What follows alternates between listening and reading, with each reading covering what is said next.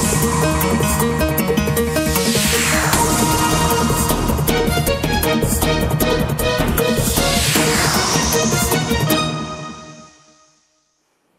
Програма важливо про триває в прямому ефірі. Дякуємо, що залишаєтеся з нами. Переходимо до наступної теми. Будемо говорити про важливу таку тему, як захист свідків у кримінальному судочинстві. В нашій студії є гість. Це Денис Монастирський, експерт Українського інституту майбутнього. Вітаємо вас. І вчора була презентована концепція. Власне, ви в цій презентації теж брали активну участь, як і в розробці е, цього законопроекту. Але е, поясніть нам, будь ласка, в чому полягає його актуальність і важливість саме зараз, оскільки є закон, який діє стосовно цього питання.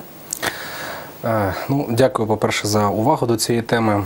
Е, Адже фактично законодавство е, щодо цього питання створене в далекому 1993 році. І е, згідно тих уявлень про захист свідків, е, це було основне те, що потрібно до свідка важливого або до правоохоронця, який, е, значить, співробітника органу, який перебуває в небезпеці, достатньо приставити трьох-чотирьох бодігардів, як зараз модно говорити, так? Охоронців. охоронців, які будуть забезпечити його безпеку. Але виклики останніх трьох років для нас показали, що це абсолютно неефективно. І випадки, які були спочатку одинокими, а цього року просто фонтанують, я маю на увазі випадки тероризму, коли е, особі спочатку погрожують. Відкрито або не відкрито, е, і потім реалізують ці погрози. Ну, просто виключно трагічними для нашої правоохоронної системи стали навіть подвійні замахи. Да, на, наприклад, е, ми говоримо про замах на Аміна Акуєва і Адама Сваєва, які вже були е, об'єктами е, таких нападів влітки, влітку, і фактично е, от повторний такий випадок, який, на жаль, привів для, до загибелі До трагічних Аміни, подій, так. говорить про те, що ця система у нас неадекватно працює. Але не працює. охорона на той момент була приставлена до Аміни Акуєва і її чоловіка. Е, Просто через деякий час від неї відмовилися. Абсолютно вірно. Фактично, це також один із е, ну, негативів, які є взагалі в нашій системі.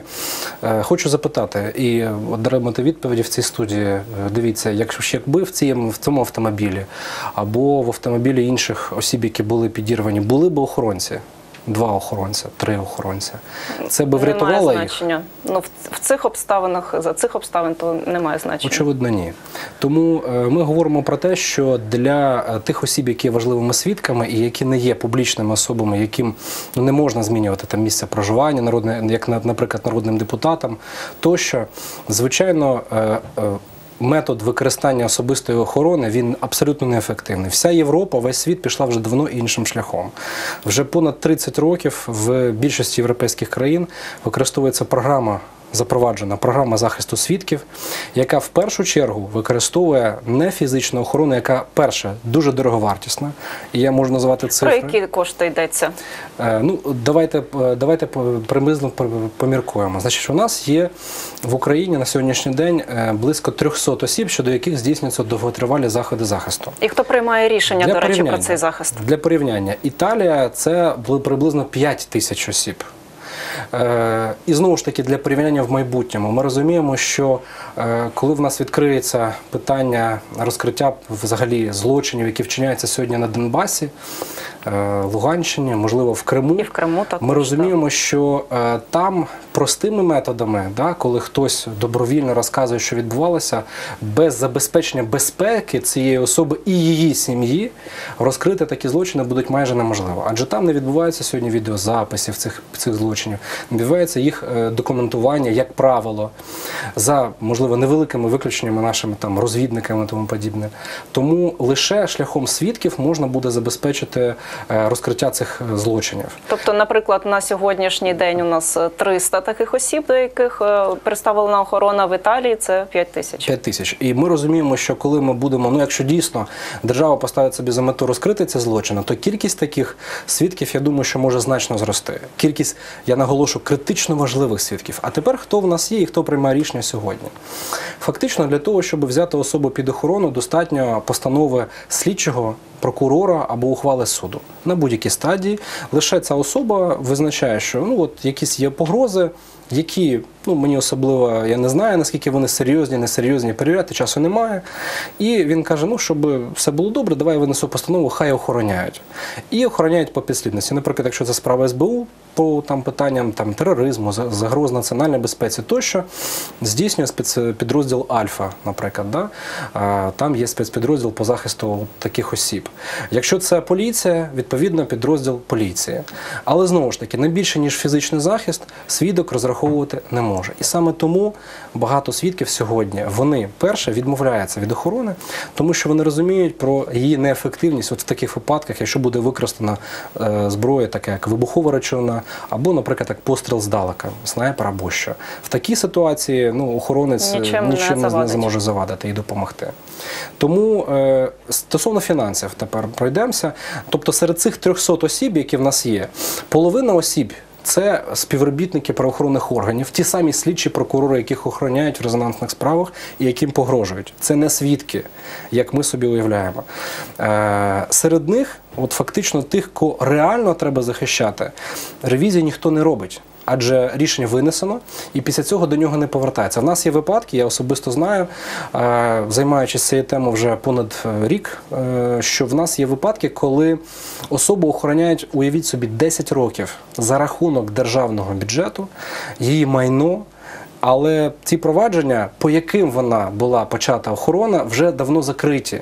І просто механізму немає, яким чином відмінити це рішення. І, продовжується автоматична охорона Абсолютно. цих фізичних осіб. Да. І ті особи, які охороняють, зверталися до суду, до прокуратури, але оскільки ті люди вже помінялися давно, вони так само, ну давайте ми залишимо на всяк Не випадок. на часі. Не на часі. Як це робиться в Європі? Давайте перейдемо, подивимося. Коли йде е, відповідна справа, і слідчий прокурор каже, оце дуже важлива особа, вона важлива для того, щоб ми розкрили цей злочин. Суддя каже: добре, давайте мені висновок спеціального органу, який потім буде здійснювати захист. Там працюють суперпрофесіонали, які оцінюють ризики. Ну, наприклад, якщо вам прийшла смс-ка, і, або, наприклад, вам хтось нафазав на Фейсбуці, да, там, що там є загроза, да, вони мають оцінити, чи це реально, чи це можливо загроза, яка, ну, вибачте, Не публічні особи. підстав. Публічні особи отримують там десятками погроз щодня, Фейсбук і тому подібне. Тобто це не можна розглядати як реальна погроза. Перше, тобто реальність це загроз. Друге, е, важливість показань. Якщо ця особа, ну, наприклад, там показує там щодо питання там крадіжки, да, і вона свідчить, є там якісь загрози, це одне питання. Це також важливо. Таку особу треба охороняти. Національна поліція може здійснити там охорону, дати їй кнопку виклику, наприклад, додому, але це не об'єкт програми захисту свідків. Що до них не може здійснюватись там переселення, зміна документів, тобто серйозні, це найвищий рівень захисту, який може бути здійснено. А ми ж розуміємо, що в сплавах, де зайняті організовані злочинні групи, наприклад, які сьогодні діють на Донбасі, там на сході України загалом, в Криму, звичайно, е, рівень загрози такої особи надзвичайно високий. І е, таку особу треба ну, однозначно приховувати, переховувати для того, щоб її не знайшли поплічники, можливо, колишні. І відповідно не змогли перервати це розслідування. Як це робити? Тут вихід лише один: це переселення, зміна, повна зміна даних. Документів. Тобто, будучи вчителем в, наприклад, сьогодні там, ну там чи перепередньо там на Донбасі, маючи освіту, там, наприклад, вона має стати так, такою самою особою в, в, наприклад, в Львові, в Одесі, в Харкові, в Києві. Тобто в містах мільйонниках, де фактично це можна, така особа просто розчиниться і її буде неможливо знайти. Крім того, вона має змінити прізвище, вона має бути їй змінені всі документи. Фактично сьогодні, ну поки ми не прийшли повністю на біометричні паспорти, така унікальна можливість є. І е, її А ну, коли також перейдемо? сьогодні не використовують. Коли перейдемо, це є сьогодні проблема Європи е, велика, тому що вони прийшли на ID-карти вже давно, і для них, от в, ну, в колах, які стосуються переселення, взагалі е, в них є дві проблеми. Перша це маленька країна. Наприклад, європейські країни зазвичай маленькі, і тому вони змушені контактувати з іншими країнами і переселяти в інші країни. Доведу приклад. Наприклад, якщо ми говоримо про Литву, країни Прибалтики, то е, в Литві е, особа може бути там прихована да, протягом двох-трьох місяців. Через 2-3 місяці, як зазвичай, навіть в великих містах, її велика вирогідність, що її знайдуть. І тому вони, якщо це важливий свідок, важливій справі, вони її переселяють в інші країни. В Європу Навіть в іншу країну. подібне. Абсолютно. Вони кажуть, в Україні в цьому плані є велика перевага, адже країна велика, велика територія. територіальна, є міста мільйонники, де фактично ну, знайти особу конкретно, якщо ви не знаєте її прізвища, змінюються там елементарні питання зовнішності, майже неможливо. Е, Щодо вартості цього проекту, взагалі, що це Який таке? обсяг фінансування потрібно для впровадження Якщо ми навіть ось порахуємо сьогодні, е, сьогодні 300 осіб, які є, я сказав, це мінімум, який буде е, захищатися в майбутньому. Кожному представили по 4 правоохоронця. Е, Кожному дали заробітну плату. Це не прості міліціонери з пістолетом, це люди, які пройшли, е, як правило, бойові умови, які мають велику Високої підготовки. Височенна підготовка, найкращі професіонали. Звичайно, е, і відповідно їхня оплата має бути достойною, вона є достойною. І сьогодні держава витрачає на одного захист одного з такої особи, свідка або правоохоронця, півтора мільйона гривень на рік. Півтора мільйона. На одного. І що ми маємо на виході? На виході ми маємо те, що фактично він не захищений на 100%. Ну, ніхто не дає 100%, але питання переселення ну, на 99-95% гарантує його безпеку. Фактично, ми говоримо про ті самі кошти, які можуть бути використані ефективніше. Ми розуміємо, що оренда квартири, наприклад, там е, у Львові, в Одесі, в, не в центрі міста може коштувати там, ну, там 3-7 тисяч гривень на місяць. Давайте помножимо на 12 місяців, отримаємо суму захисту такого свідку. Заміна документів відбувається там ну, взагалі не за невеликі кошти. Тобто це абсолютно інша арифметика, яка може е, не тільки не вивести на новий рівень захист свідків, але й зекономити, для держави. Але фізичний захист при цьому теж ви е, прогнозуєте, що буде навіть в цій концепції. Фактично він е, також може бути передбачений, але як тимчасовий захід. Лише до моменту, наприклад, переїзду, до моменту ну, якогось вирішення питання щодо того, де ця особа буде перебувати. Тому що якщо вона там перебуває, ви знаєте, е, от ви можете самі порівняти, що коли ми з вами бачимо на вулиці, під'їжджає броньований автомобіль, да? з нього спочатку виходять правоохоронці там, чи просто люди в цивільному, які починають озиратися, так? які вони самі себе привертають увагу всіх людей.